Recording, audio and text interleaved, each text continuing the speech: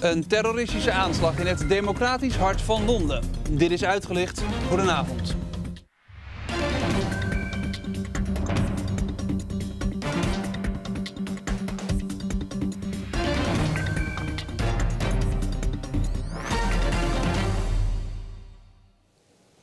Precies een jaar na de aanslagen in Brussel was vandaag Londen de plek van een aanslag. De trieste balans is in ieder geval vier doden en meer dan twintig gewonden.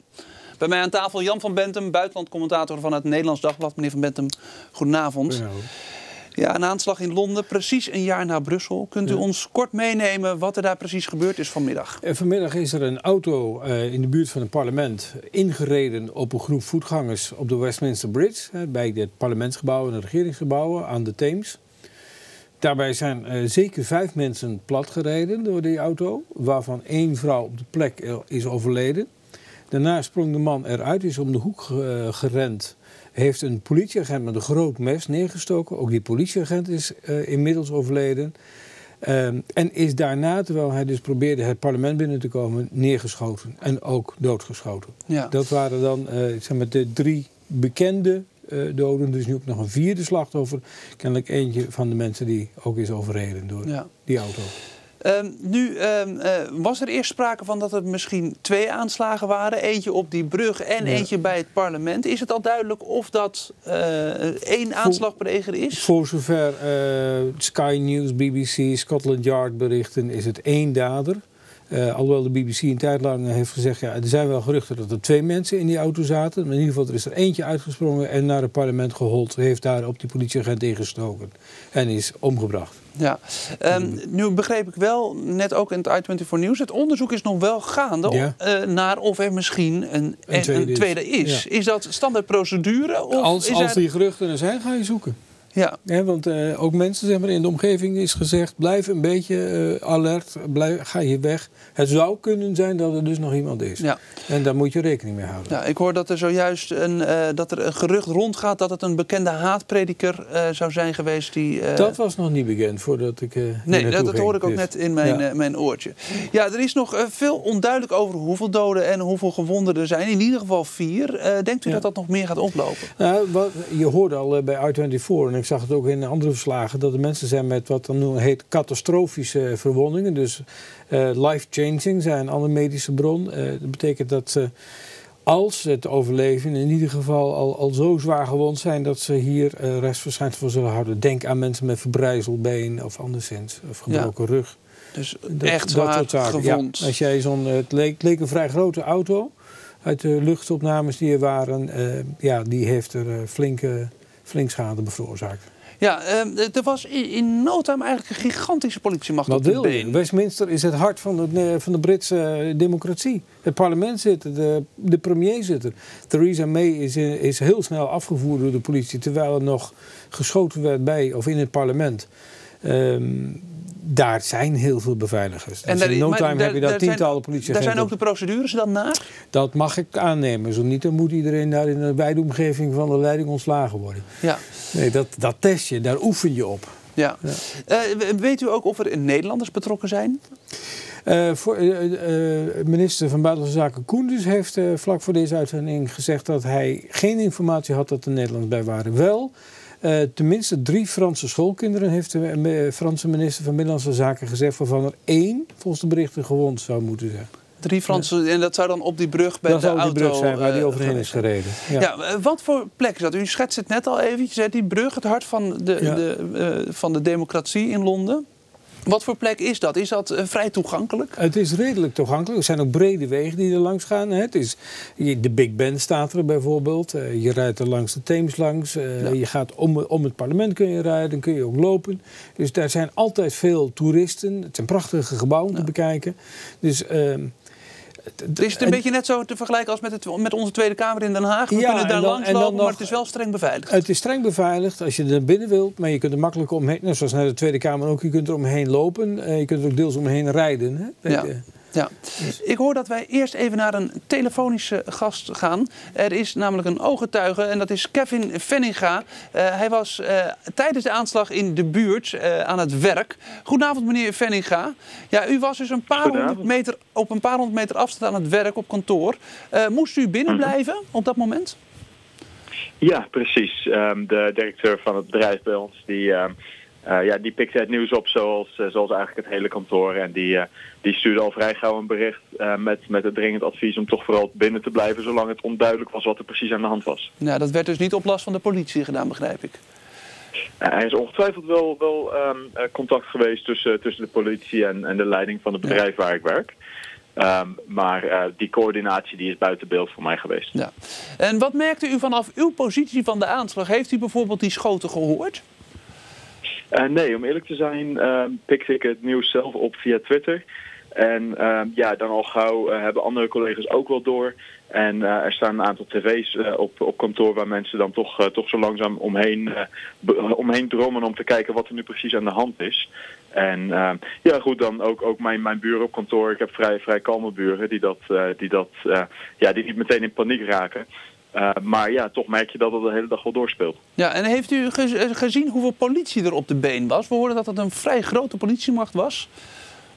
Ja, de politie was wel vooral denk ik geconcentreerd rond het gebied waar het echt uh, allemaal gebeurde. Um, maar uh, absoluut ook onderweg naar huis voor mij vanaf kantoor.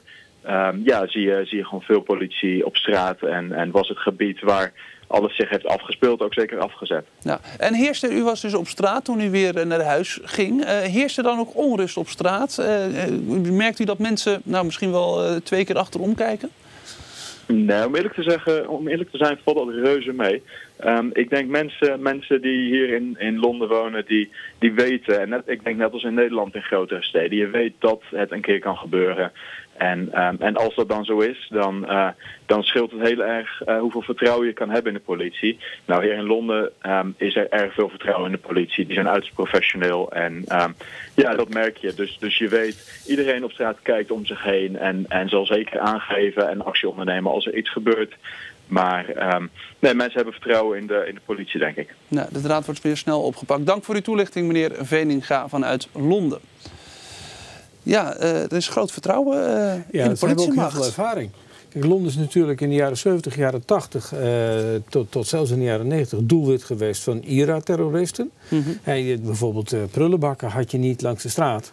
En als ze er al stonden, dan mede de mensen die, omdat daar bommen in konden liggen, die explodeerden. Dus ze hebben een hele lange en, en ja, nogal hevige ervaring met bomaanslagen. Zelfs met raketbeschieting. Maar goed, dat is al wel een tijdje geleden. Ja, maar dat onthoud je toch. Als, dat sla je op, ook in je, in je draaiboeken. Je praat met mensen die die ervaring hebben gehad. Je hebt natuurlijk de aanslagen gehad van, uh, van, uh, van, 2005 in, in Londen. Ja. Waarbij uh, de juli-aanslagen. Eh, in de underground drie bommen die afgingen en in, in die bus. Later nog een keer een poging. Je hebt aanvallen ja. gehad in, op het vliegveld van Glasgow. Het is een poging geweest op het vliegveld van Midlands. Ja, dus... Zijn ze daar bij zo'n aanslag dan ook bang voor? Want de metro is ook een tijdje afgesloten geweest. Ja. Uh, dat daar dan ook eventueel nog weer extra uh, bommen af zouden kunnen nou, gaan? Wat ik, wat ik zelf een keer merkte. Um, op een gegeven moment, ik was een keer op bezoek in Londen. moest ik naar de BBC toe. En toen waren de voorste coupés van de, van de underground waren leeg. En ik had zoiets, nou, dat komt prachtig uit. Ik kan heb er alle ruimte. Ja. En tot ik hoorde dat er die dag een bomaanslag op het Victoria Station was geweest. En ja, dan ga je dus niet in de eerste coupé zitten. Want als de bom afgaat, is dat als de underground, als die metro stel ja. er aankomt. Uh, en, uh, en dat ding laat afgaan. Dus. Ja. Uh, het parlementsgebouw zit daar dus. wat is er gebeurd met al die parlementariërs? Want we hoorden net van in Kevin dat zij heel georganiseerd geëvacueerd. Ze zijn geëvacueerd. Ja, en, en dat ging uh, opmerkelijk snel en rustig, uh, zijn beschrijvingen. Ook dat is oefend. Ja. En, en, men weet het. Londen heeft ervaring hiermee. Ja, nou en, heb ik wel gehoord dat het lagerhuis nog steeds vergrendeld is. En dat die parlementariërs nog steeds in het lagerhuis er zijn, zitten. Er zijn groepen geëvacueerd, behalve wat in de vergaderzaal zat. Ja. Dat zou dan bij die, bij die, bij die, opening, uh, bij die ingang langs moeten. Ja. Hoe daar precies mee is, uh, dat, dat stond nog niet in de berichten. Maar vergis je niet, zij weten al lang dat Londen een doelwit is. Het is zo vaak genoemd in publicaties van zowel Al-Qaeda als ISIS. Ja. Ehm, want je, hè, wat, wat ja, Kevin ook zei, van, je, je weet dat je een keer aan de beurt bent. Net als Parijs, net als Brussel, helaas. Ja. Ehm, de reacties eh, wereldwijd. Um, uh, zijn er al reacties van wereldleiders? Uh, nog niet uh, voor, deze aan, uh, voor, voor, deze uitzending. Wel al een reactie op de, de, de media sites van, Twitter, van ISIS op het Russische Telegram berichtenplatform. En ze zaten vroeger heel veel op Twitter en Facebook. Ja, en dan gaat het over ISIS. Het gaat niet over de wereldleiders. Nee, ja. ISIS zegt in een eerste reactie van... wij beginnen binnenkort met onze echte aanval op Londen. Wij zullen ook komen. Dus kennelijk ja. gaan zij ervan uit dat dit geen door hen georganiseerde aanslag was. Wat niet betekent dat het geen aanhanger van ISIS is geweest. het zou best kunnen zijn dat het wel zo is. Ja, ook daar komen we straks nog even op terug. Het is precies op de dag nauwkeurig een jaar na de aanslagen in Brussel op het vliegveld. Ja, uh, dat kan. Is daar een verband? En als je bijvoorbeeld gaat kijken bij Al-Qaeda en ISIS op al hun berichtenplatforms, in al hun bladen, ik heb ze gelezen vandaag voor een ander artikel waar ik mee bezig was, heb ik dus Rumia gelezen. Rome betekent dat, dat is het blad tegenwoordig van ISIS. Ik heb op mijn Twitter-accounts gekeken, voor zover die nog zijn. Niets. Er was geen enkele indicatie. Alleen Al-Qaeda heeft vorige week een oproep geplaatst om Amerikanen te vermoorden. Als wraak op twee luchtaanvallen bij Aleppo. Maar kan, is het dan toeval dat dat dan precies een jaar later zo is? Dat kan omdat uh, het kan ook gerelateerd zijn aan iets anders. Vandaag is in Washington uh, de conferentie begonnen. Dat dan heet de Global Coalition Against Daesh. Dat is de, de wereldwijde coalitie tegen ISIS. Daar doen 68 landen mee. De ministers van Buitenlandse Zaken vergaderen vandaag en morgen in Washington over de strijd tegen ISIS. Ja. Nou, dat, daarin is uh, Groot-Brittannië prominent aanwezig. De vicecommandant van de coalitie tegen ISIS is de Britse hoogste bevelhebber van strijdkrachten, generaal Rupert Jones. Ja, en, die, is daar dus bij die conferentie aanwezig. Dat weet ik niet of hij bij de conferentie is. De minister van Buitenlandse Zaken zou er zijn. Maar Rupert Jones heeft gisteren een, een interview, een, een, speech gehouden. Stond in de Times ook uh, gisteravond. Um, waarin hij kei en keihard uithaalt tegen ISIS. En hij belooft alle westerse strijders bij ISIS dat ze zullen sterven. Wij zullen jullie opsporen en we zullen jullie doden, maar het letterlijke woord. Ja. Geen alternatief. We kijken al heel snel naar ISIS, omdat ISIS de meeste aanslagen de afgelopen tijd heeft um, opgeëist. Uh, en ook u bent, uitgedaan. En ook, ook, zelf uh, inderdaad heeft uitgevoerd. Uh, u bent zelf, u zei het al, in die bladen gedoken. U doet dat al jaren. Um, is het ISIS of kan het ook iemand anders zijn? Het kan prima Al-Qaeda zijn. Al-Qaeda heeft, zoals gezegd, die oproep gedaan om Amerikanen te doden of hun bondgenoten. Uh, tegelijkertijd hebben ze, ik heb hier het voorblad bij me van, van, van uh, de, de, de cursus om explosieven te maken. Ik heb iets zwart-wit dan. Uh, dat is een, een, meer dan 100 pagina tellende chemie, nee, ja, zeg maar college in, in chemie. Hoe je van normale keukens die we bij de supermarkt kunnen kopen. Wat je bij de supermarkt kunt kopen. Uh, via allerlei labora uh, ja, eenvoudige laboratoriumhandelingen springstoffen kunt maken. En dan hebben ze verder weer handleidingen hoe je die dan waarin kunt verpakken, in, in, in drukpannen en dergelijke, en uh, hoe je die kunt gebruiken. Ja. Maar toch, u, u, u, zei al van, u was bij bezig ook met een artikel voor de krant van morgen, het Ja, omdat het een jaar geleden is naar en, Brussel. Ja, dus daar begint van, u mee ze nou? van, uh, ze zijn al een jaar stil en we horen niks. Nou, en u niet had een artikel... jaar stil, ze zijn een aantal maanden ja. helemaal stil. Maar u had het artikel af en het is toch een aanslag? Ja, maar goed, dat wil niet zeggen dat die maanden stilte uh, betekent dat er niks meer komt. Als je nu gaat kijken naar die aanslagen die waren op de marathon in Boston. Dat was ruim drie jaar nadat ja, Al-Qaeda de oproep had geda gedaan om een aanslag te plegen met van die hoge drukpannen. Daar een handleiding over had geschreven. En exact dat is daar gebruikt. Ja. En die zijn zes jaar later opnieuw gebruikt bij de pogingen tot aanslagen in New Jersey, in, bij New York. zou hier ook kunnen. We praten er straks over verder, want ik ga eerst even naar de telefoon. Want daar hebben wij Peter van Dalen, uh, Europarlementariër voor de fractie van de ChristenUnie SGP. Goedenavond, meneer Van Dalen. Dag meneer Willems, goedenavond. Ja, wat was uw eerste reactie toen u dit uh, trieste nieuws hoorde? Ja, ik dacht natuurlijk meteen ook aan Maalbeek. Uh, vanochtend hebben wij een herdenking gehad bij Maalbeek. Uh, precies één jaar geleden dat daar de aanslag was. Um, en dat was misschien ook een, wat we dan noemen, lone wolf. Iemand die uh, ja, stand-alone is, die zelf uh, opereert en geradicaliseerd is. En dat was het eerste wat me ook door mijn hoofd schoot toen ik de berichten over Londen hoorde, dat ik dacht van, ja, dit lijkt ook een uh, lone wolf te zijn die vanuit ja, geradicaliseerde motieven een aanslag pleegt. Of dat zo is, dat zal natuurlijk nog moeten blijken uit verder onderzoek. Maar dat was wel het allereerste wat door mijn hoofd schoot. Ja. Uh, hoe zijn de reacties daar in Brussel? Uh, is er ook gelijk meer beveiliging bijvoorbeeld? Ja, de beveiliging is nog steeds optimaal. Uh, na de aanslagen nu een jaar geleden op Zaventem en Maalbeek... er zijn militairen in en om ons gebouw in Brussel... maar ook op cruciale plaatsen in de stad, zoals de Grote Markt... zijn militairen allemaal aanwezig... Uh, dat niveau van bewaking is uh, gebleven. Um, en ja, natuurlijk, dat blijft nu ook zo. Met dubbele alertheid gegeven deze aanslag in Londen. Dus het gekke is, ja, als je in Brussel bent, dan vind je het ook alweer ja, bij het straatbeeld horen bijna. Ja. Dat er zoveel militairen staan. Um, en ik denk dat dat nu zo blijft. En het is dus kennelijk nodig. Ja, het dreigingsniveau hier in België is nog steeds enorm hoog. En uh, ook in Nederland is het natuurlijk hoog. Uh, en je ziet nu vandaag weer Londen. Uh, ik vrees dat we met deze ellende van die aanslagen nog lang rekening moeten houden. En dus ook qua beveiliging en militaire en politie-inzet ja. daarop moeten inspelen. Dank voor uw korte toelichting, meneer Van Dalen, Europarlementariër voor de ChristenUnie SGP. Oké. Okay.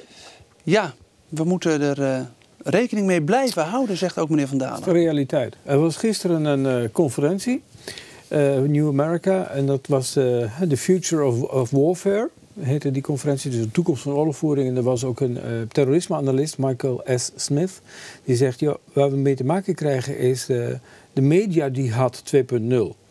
De media zijn het slagveld, zegt ook ISIS. Vlak nadat ik mijn artikel had geschreven, kwam er een bericht binnen dat ISIS een oproep heeft gedaan om hun pogingen om nog op Twitter, Facebook en dat soort uh, social media te zijn, om dat te blijven steunen.